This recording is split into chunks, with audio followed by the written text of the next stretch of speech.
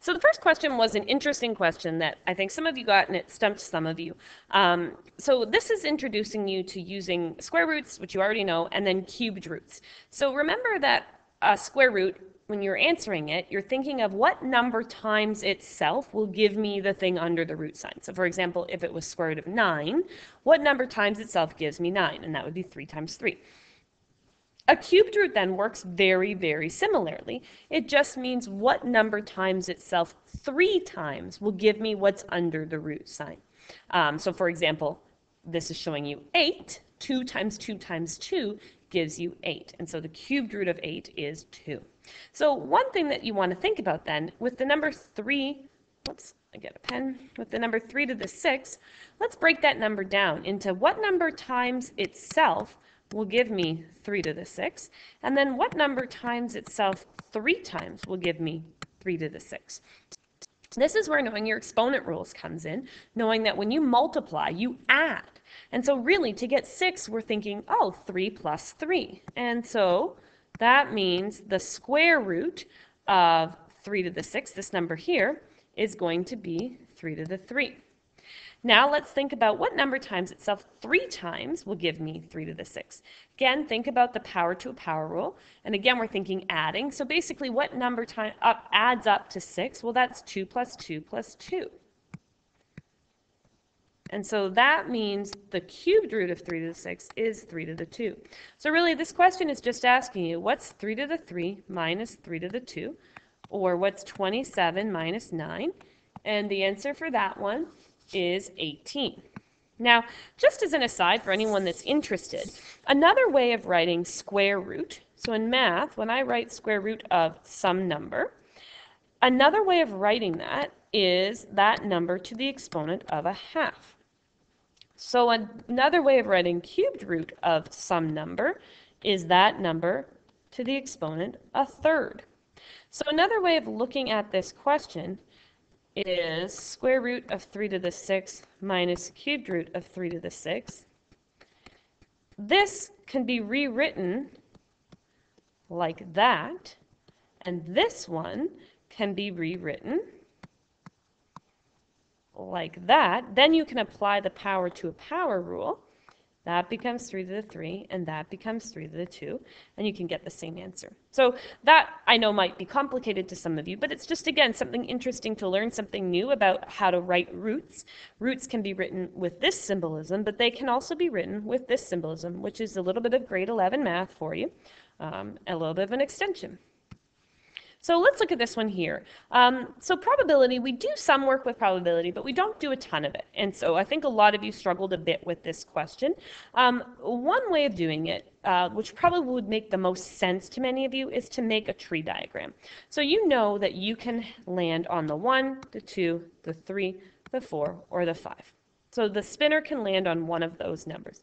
Now it says if it lands on a perfect square, you are then able to flip a coin. If it doesn't, you're done. So this one is not a perfect square, not a perfect square, not a perfect square. I think some of you were thrown off by the number 1. 1 is a perfect square. 1 times 1 is 1. Likewise, 4 is a perfect square. 2 times 2 is 4. So all of those numbers, um, 1, 4, 9, 16, um, 25, etc. Those are all perfect squares. So now it lands on this, we can flip a coin. So we can say heads or tails. Heads or tails. Now keep in mind here, these were possibilities that just didn't work out for you. So you've got to still kind of keep those in the back of your head as total number of outcomes. When, and then it says probability that you flip a coin and it lands heads up. So we've got there, and there. But remember, we did have all of these outcomes that just didn't work, that weren't a perfect square and a head flip. Um, so we have 10 outcomes in total, and two that were the ones we wanted, which gives us a probability of 1 out of 5. Another way of doing this, uh, which you would learn later on, I think probably not until oh gosh, I think probably grade 12 data management maybe, is doing some other work with probability, um, which is looking at what's the probability when you spin the spinner you will get a perfect square. That would be 2 out of 5. There are 2 out of 5 numbers on that spinner. And then what's the probability of getting heads? That's 1 half. When you have multiple outcomes, you can actually just multiply the probabilities together. When you do that, you end up with one-fifth. So it's just another way, again, something a little bit of an extension for you, looking at probabilities of multiple outcomes really are just what's the probability of each outcome, and then multiply them together. Um, the third one, uh, I, I can't remember not a lot of you got it right, I don't think. Some of you did, some of you didn't. The easiest way to approach questions like this is to do a test number. So let's pretend the volume or the length of each cube was x, right? Because we're increasing by 10%, the easiest sort of test number is to say, let's pretend right now each length is 10. So let's just, for argument's sake, say each length is 10. That means if each length was 10, the volume is 10 cubed, or 10 times 10 times 10, which is 1,000. So that would be the volume of a cube that has a length of 10. Now let's look at what happens when we increase it by 10%. 10% of that 10, remember the easiest way to do 10% is just to move the decimal place once. So 10% of 10 is just 1. So that means our new length is going to be 11. Our new volume then will be 11 cubed, or 11 times 11 times 11. That one you might not get as quickly in your head. Um, you might have to write it out or whatever, or if you know your squares and cubes, you might get it quickly. Regardless, you are capable of getting that number, and you'll get 1331. So now what we need to do is say, okay, we were at 1,000. We're now at 1331. How much have we increased by? Well, we've increased by 331. We've increased by new volume minus old volume. How do we express that as a percent? Well, we take the volume increase divided by the original volume. Remember, percent is always um, like if you think of a test, what you got on the test divided by the total marks. So in this case, it's asking us volume increase. But what is it that's increasing? It's the original. So we always take our volume and divide it by the original. When we do that, really, we know percents out of 100, so we can really get rid of that zero, which means we have to move the decimal place there. So it's going to be 33.1%. Now the interesting thing with this question is I chose 10 for my original just because I knew that was an easy number. If you chose 20, if you chose 30, it doesn't matter what you choose because the question was asking for a percent increase. The percent increase stays the same regardless of the number.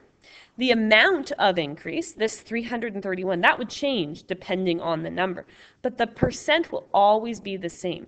Um, so when you get questions like this, a really good strategy is to just pick a test number and try it out. And the best thing to do is to pick a test number that will be easy to work with. All right, so this one um, was quite an interesting one. Um, so you're looking for numbers where your middle two, so your tens and your hundreds place are going to be, the product will exceed six. Now, that language confused some of you. Exceed six means more than six. So what we need to do is look at the numbers between 5,000 and 5,500 and think about what are some of the possibilities. Remember, we've got a 5 there and we've got a whatever there. What are some of the possibilities for these two places? For this place, I could have a 0, a 1, a 2, a 3, or a 4. Can't go higher because then I'm at, you know, the 5500 and I believe it said, let me just look that up. Oh, it's actually here. It says between. So 5500 doesn't count. You can't have exactly 5500.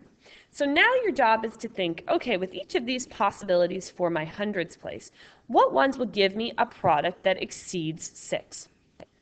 If I had a 0 there, Nothing will give me a product that exceeds 6. So that one's kind of done.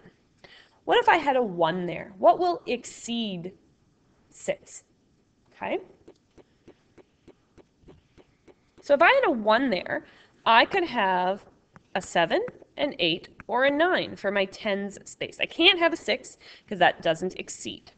Now, what if I had a 2 there? Well, I could have 4, I could have 5, I could have 6, I could have 7, I could have 8, or I could have 9. What about if it was a 3?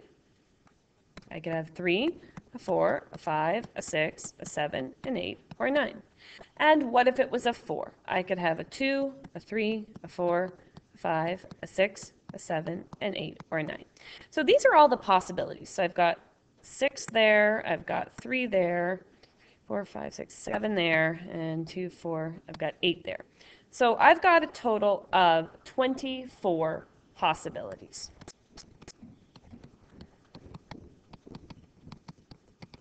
Okay, that just deals with my hundreds and my tens spot.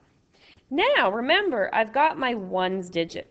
My ones digit really can be anything, okay? It just has to be greater than 5,000. Now remember, I can't have 5,000 because that zero didn't work. So really this number could be 0, 1, 2, 3, 4, 5, 6, 7, 8, 9. Altogether, I've got, I think, 10. 1, 2, 3, 4, 5, 6, 7, 8. 1, 2, 3, 4, 5, 6, 7, 8, 9, 10. Yes, there are 10 altogether. That means I could have, for example, 5, 1, 7, 0. 5, 1, 7, 1, 5, 1, 7, 2, and so on. I could have 5, 1, 8, 0, 5, 1, 8, 1, 5, 1, 8, 2, and so on.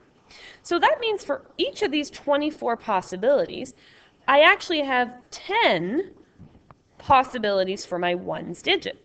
So I actually have 24 times 10, or 240, possible whole numbers where this scenario will be applicable. So that's just some interesting kind of a strategy. Again, notice I wasn't finding each one. I was finding a pattern or strategy to be able to do it. There are too many numbers to be able to list each one. So uh, the shortcut is to try to find an easier way. Find a strategy or pattern that will help me to get to the answer. Okay, so for this one, I've, I've redrawn the picture. Um, this one is quite complicated. Uh, and I'm not sure how many of you really even knew exactly what to do. Um, the shading region, I didn't actually shade it, is this, oops, it's not going to let me maybe, is this region right in here, okay? Um, so I'm going to just undo that for a second because I want to be able to show you something with that. Um, so a couple things that will potentially help you here is to split this up and draw a perpendicular line here. So a 90 degree angle there and draw a 90 degree angle there. So what we've actually done by drawing those 90 degree angles, and this is not drawn to scale in any way, is I've created some right angle triangles. I've created a right angle triangle right here. I'll call this one, um, I don't know, A, B, C, D, E. I'll call this point F and I'll call this point G, let's say. So I've created a right angled triangle A, B, um, oh, shoot. I already had that labeled. Ah. Now it's not going to let me. There we go. Okay, so sorry, I had this one already labeled as B here, so B is actually there. So let's call that one F, sorry and that one G. So I created a right angle triangle AFB, which is this triangle right here, and I've created a right angle triangle AGD, which is this triangle here. Now, one thing it talks about is the center of the smaller square, okay? You're putting this, this square, this point A, is smack dab in the center of this smaller square, which I haven't drawn very well. But that means if this is smack dab in the center, that means this length from A to F has to be 4. Because if the whole length is 8, halfway, it's right in the middle, has to be 4. Likewise, if this is smack dab in the center, because it's a square, this side also has to be 4. Okay? The other thing you have to keep in mind is it gave you this measurement right here. So it told you that distance there. And again, if that distance is 5, this distance is also going to be 5. Okay? So that tells us some things about these triangles. We have Pythagorean theorem in play here. and we can do some calculating. So we can use the fact that we've got two congruent, which means the same. These two triangles are the same. We know that 5 squared minus 4 squared will give us 9, which means that this length will be 3. And if this length is 3, so is this length. So we've got some congruent right-angled triangles. That's the piece that I think many of you probably wouldn't have been able to see. That's really challenging to be able to kind of see that piece. Knowing that, then you know that this little bit, if that's 3, and you know that this is a square, that this little bit must be 1. Okay? And because it's a square, you know that this piece from E to G, because this is a square, even though I didn't draw it very well, that this piece is 4. So I didn't draw it to scale very well, but this is supposed to be a square that's 4 by 4. The reason why we knew that again was this point A was right in the middle of this square. And so that means if it's right in the middle, this length is 4 and this length is 4, which makes this 4 and this 4. So now we have, and I'm going to outline it in green, I've got this shape right here that I need to find the perimeter of. Well, now I know that it's 5 plus 3 plus 4 plus 1 plus 5. And it is 17, nope, 18. Okay. So that is the answer to that question. That's quite a challenging question. Um, it has to do with the fact that that point was right in the middle. That allowed you to create these right angle triangles and this square that was 4 by 4.